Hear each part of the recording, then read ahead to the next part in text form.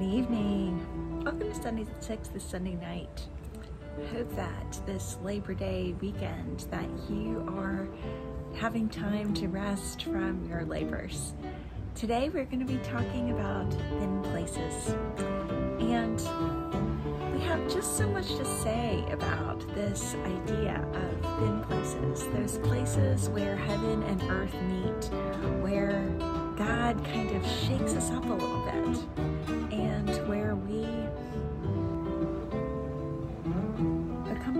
something larger than ourselves. So much to say about that. We heard so many good stories that we are going to continue that in a series about thin places this fall. The thin places of creation, the thin places of justice, the thin places of community, the thin places of suffering and awe and wonder. Next week, we actually will not um, meet as a regular Sundays at 6 service. Our conference is doing a service of creation care. And so we encourage you, we're going to be sending the link of around and invite you to join in that. Creation is one of those thin places. I invite you to take a deep breath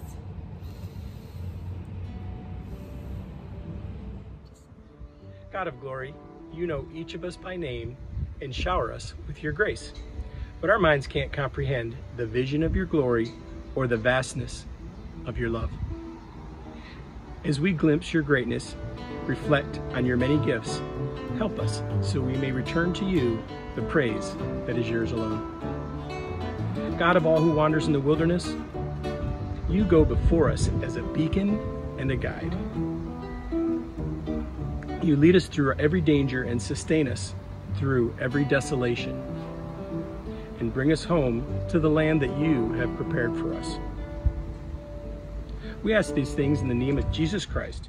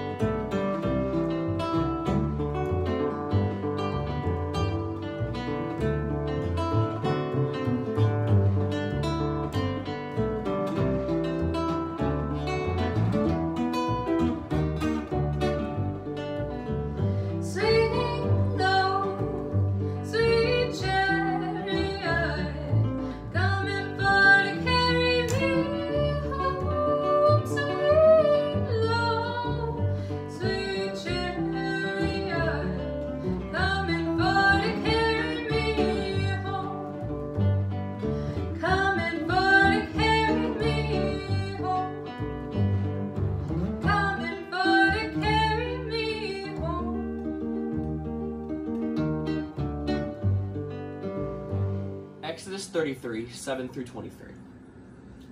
Now Moses used to take the tent and pitch it outside the camp. Far off from the camp, he called it the tent of meeting, and everyone who sought the Lord would go to the tent of meeting, which was outside the camp. Whenever Moses went to the tent, all the people would rise and stand, all of them, at the entrance of their tents, and watch Moses until he had gone into the tent. When Moses entered the tent, the pillar of cloud would descend and stand at the entrance of the tent. And when the Lord would speak to Moses, and the Lord would speak to Moses. When all the people saw the pillar of cloud standing at the entrance of the tent, all the people would rise and bow down, all of them, at the entrance of their tents.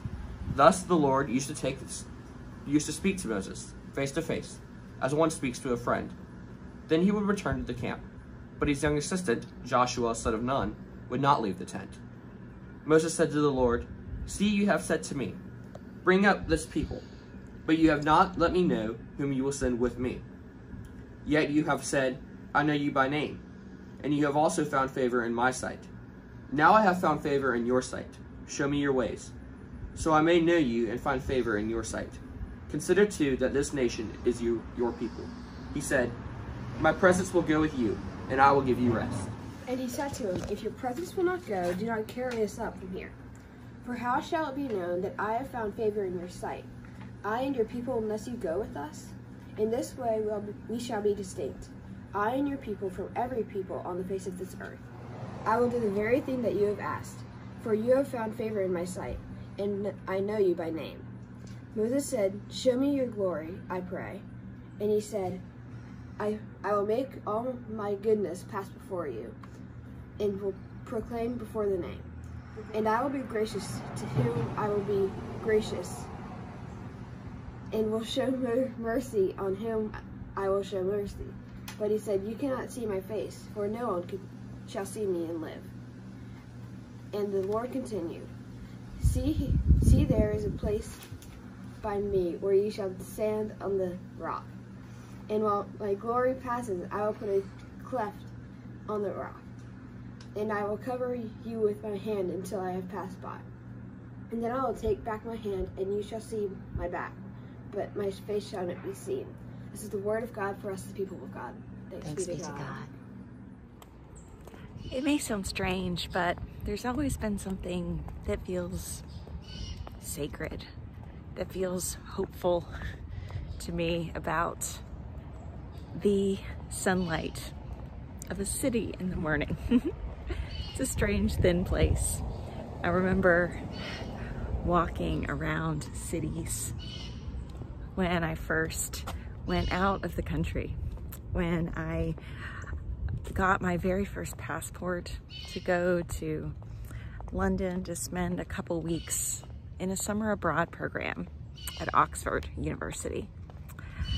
It wasn't really even a summer abroad, it was a month abroad, let's be honest, but I decided to spend three weeks before that with my mom. We got our little backpacks and we got our Brit Rail passes, and so we spent three weeks backpacking around England and Scotland, Ireland, Northern Ireland, and Wales.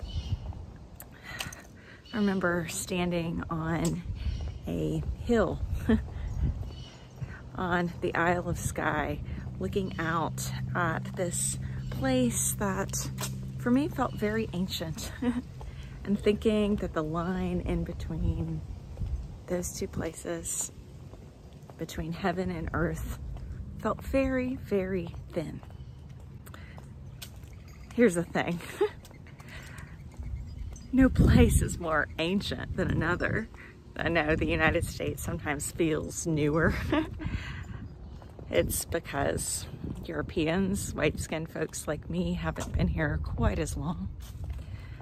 For many of our native brothers and sisters, they have seen thin places in these, what we would consider ordinary American spaces for a very long time.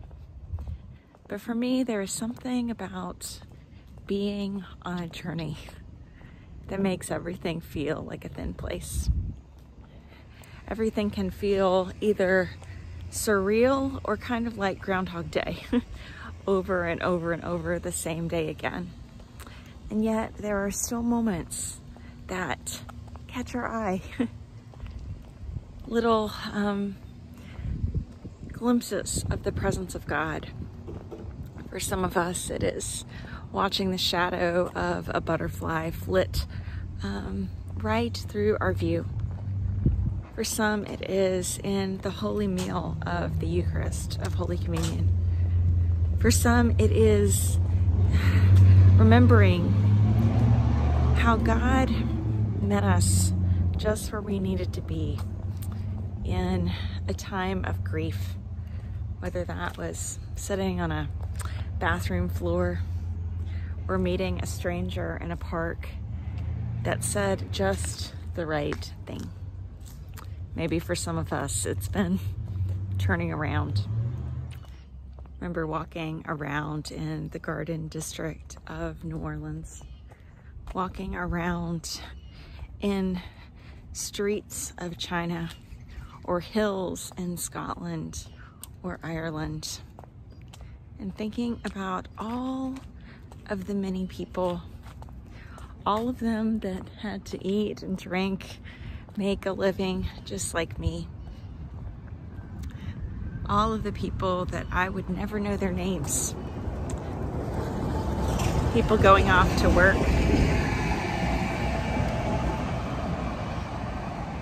And people loving their families or their friends well. And somehow this realization caught me that God knew each of their names, that God was with them in the moments of making dinner, in the moments in which they listened just a little bit to the sound of the rushing wind.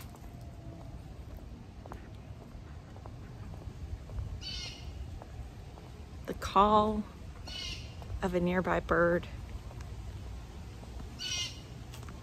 That they looked at the way the light dapples in the morning or the evening. That that same God that met them in each of their individual spaces also meets me. Our scripture today talks about Moses and how he met face to face with God. Thank you to Davidson and Diana for reading those so beautifully. Moses was a prophet. he indeed had a special relationship with God. But the way that Moses met God in the tent of meeting, we believe is available to all of us, that we are invited into that thin place where heaven meets earth. For us as Christians, we think that the thinnest place is through Jesus, the Word that became flesh and dwelled among us. That word is tent or tabernacle. That through him we have seen the glory of the Father filled with grace and truth. That Jesus walked streets that were maybe just as ordinary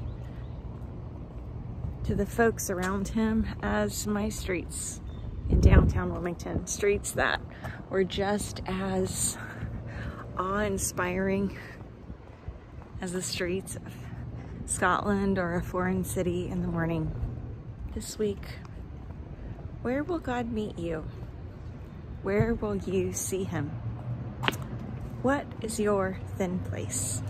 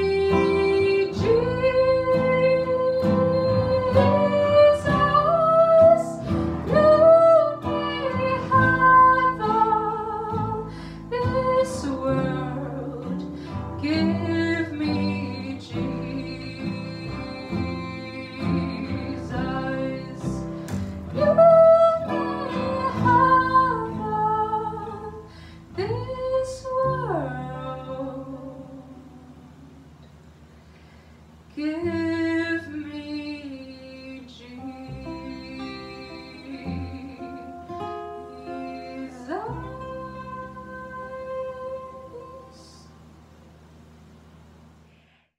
Are so grateful for the gift of technology that allows us to bless and to commission and to send out people from our space, even when they have already been sent out. Annie is joining us from Scotland and her uh, dorm room in St. Andrews, Scotland, where she is finishing up how many more days of quarantine?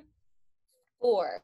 Four more days of quarantine. So she may be done by the time you see this but I am here in Wilmington, and so we are so grateful to be sending her out on behalf of our Wrightsville family and our Sundays at Six family to pursue a master's in sacred music. She's going to be in the School of Divinity.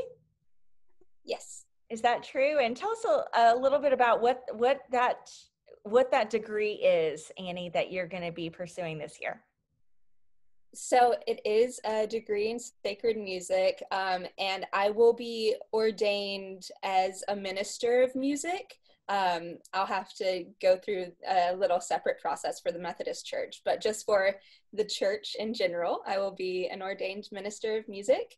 And so I'll be learning about um, theology and um, how that relates to um, worship and arts, and um, we'll learn some about the visual arts and music and uh, and movement and all all the different components of um, how we worship.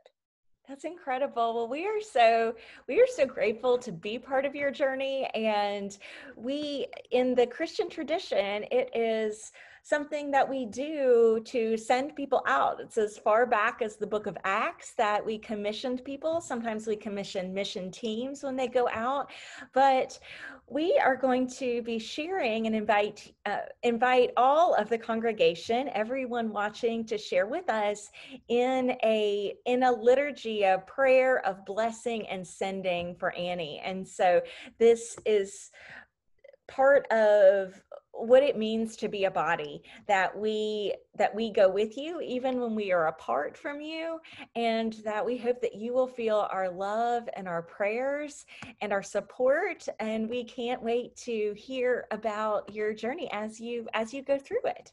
So i invite um, annie and i are going to be praying the liturgy on the screen and I invite you, as you are watching, as you are worshiping with us, whether it is on Sunday at 6 in morning prayer, morning devotion, or at some other time, for you to, to pray along with us in a space of prayer. At a point in in the commissioning, I'll invite you to lift up your hand and to think about laying on of hands normally um, would do. Imagine yourself placing a hand on Annie's shoulder or her head as a way of um, praying God's Holy Spirit to flow through us to her. And so let us pray. The church is a family. United by our common recognition of Jesus as our Savior, we are all siblings. We share good times and bad. We share each other's joys and each other's sorrows we lighten each other's heavy burdens. Together, we laugh and cry. Together, we worship and praise God. Together, we live. And so we are grateful that some of us answer a call of God in our lives. Dear friends, today we recognize the ministry of Annie Jewell and we consecrate her to a special task in the service of Jesus Christ. Along with Moses, along with Isaiah, along with the disciples, Annie says, Here I am, send me. Annie, we commend you to this good work, and we promise you our prayers and our encouragement and our support as you study to become a minister of music. May the Holy Spirit guide and strengthen you so that in this and in all things you may do God's will in the service of Jesus Christ. And so, Annie and all of those gathered over the internet wires, will you affirm your faith in Jesus and will you promise to live out the good news in the world? If so, let us say, I will. I, will. And now I invite all of all of you who are who are watching and worshiping with us Together, Annie and I will be um, stating our faith and our beliefs, and we invite you to say that and affirm along with us. We believe in God, creator of the world. And in Jesus Christ, the Redeemer of creation. We believe in the Holy Spirit, through whom we acknowledge God's gifts. We commit ourselves to the rights and dignity of all people and to the improvement of their quality of life. We dedicate ourselves to peace throughout the world and to God's justice for all nations. We believe in the present and final triumph of God's kingdom on earth as it is in heaven. And we gladly accept our commission to manifest the life of the gospel in the world. Amen. So, friends, I invite you to lift up a hand. and Annie, um, may you receive these prayers of our community. Um, may you receive the Holy Spirit empowering you for this good work to which you have been called. Let us pray. Almighty God, look with favor upon your daughter Annie, who is committed to following Christ and to learning and serving in Jesus' name. This year, give her courage, give her patience, and give her vision. And strengthen all of us to hear your voice to answer your call on our lives, to follow Jesus, to witness to the world, and to serve others. Through Jesus Christ our Lord, we pray. Amen. Amen. Well, thank you. I just I just want to say thank you to you, Christina, and to all of our church. Um, Sundays at six in particular has kind of given me um, they've given me the wings to fly to to go back to my testimony last week um, really i am so thankful that i've had the opportunity to recognize that um, that I, I, do feel a calling and um, this is what i want to do with the rest of my life mm. is mm. spread the good news and do it through music um, so really so much thanks to you and to all of our church family and I'm really excited to to see what this year has in store for me. Um, and I'll certainly miss all of you a lot. I'm already homesick and I'm less than two weeks in. Um, but yeah, thank you for everything. I'm so excited. And we are excited for you. Many of us watching were able to come out and to say goodbye um, via a little car parade. And so there's some um, pictures and videos of that. And we we love you. And we know that this is not an easy time to answer a call, but we, I don't know, we're just so grateful to have this hopeful thing happening right now in a in a time in which it feels like there is so much need and so much brokenness. And so we are grateful that God has called you and that you have said yes. So we miss you and um, pray God's blessings on you. And you will not be a stranger to us, uh, even as um, even as you begin your work in St. Andrews. And so we are sending you all sorts of love. Thank you. Thank you. And I still, just so you know, am watching all of our services, even though I'm five hours ahead. well, we, uh, we, maybe you will not be watching with us at like 11 p.m. Maybe you will have good bedtimes, but uh, we know that you will join us and that you're with us in spirit. And so we are so, we are so grateful for that. Thank you. Well, so much love and thanks to you. Bye. Bye. Our Father, who art in heaven. Sia santificato il tuo nome. Thy kingdom come, thy will be done. On earth as it is in heaven. Give us this day our daily bread. And forgive us our trespasses. As we forgive those who trespass against us. And lead us not into temptation. But deliver us from evil. For thine is the kingdom, and the power, and the glory forever. Amen. Amen. Amen. Amen. Amen.